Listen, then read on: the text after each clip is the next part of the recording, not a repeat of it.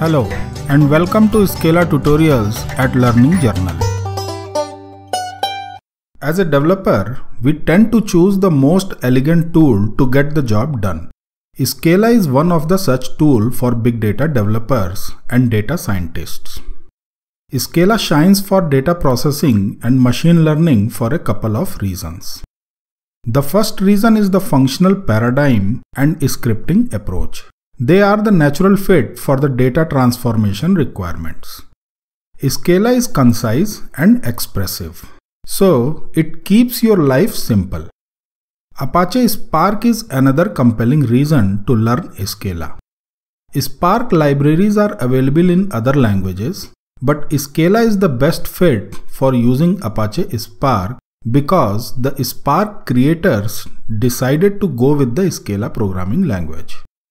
Personally, for me, Apache Spark is the most critical reason. So if you have the same reason to learn Scala, this tutorial will try to cover enough Scala for a potential Spark developer.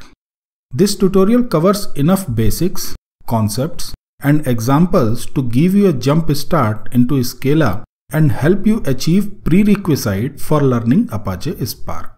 However, even if you are not interested in Apache Spark, this tutorial should be able to lead you into functional programming using Scala language. I'm assuming that you already have some background in programming. Prior knowledge of Java is helpful, but it is not mandatory to follow these tutorials. So good luck and enjoy watching Learning Journal. Keep learning and keep growing.